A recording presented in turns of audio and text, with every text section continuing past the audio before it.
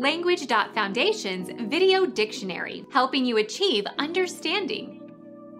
Falling short of some prescribed norm. Substandard housing. Deficient, inferior.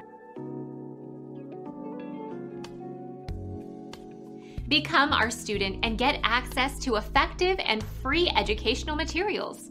Subscribe to our channel to become a part of our growing community and to learn English effectively.